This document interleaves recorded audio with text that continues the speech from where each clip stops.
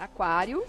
O signo de Aquário é um momento de transformação para o signo de Aquário. Existe ali uma fase de mudanças que vai estar ocorrendo. Então, já que está mudando, vou trabalhar uma mudança positiva, vou trabalhar uma mudança eh, de alegria, fazer com que as coisas ocorram de uma maneira muito segura, né?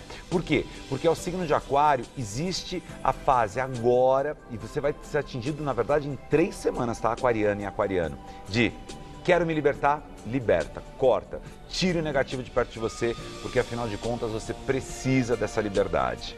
Boa semana para você. Boa semana para você de Aquário.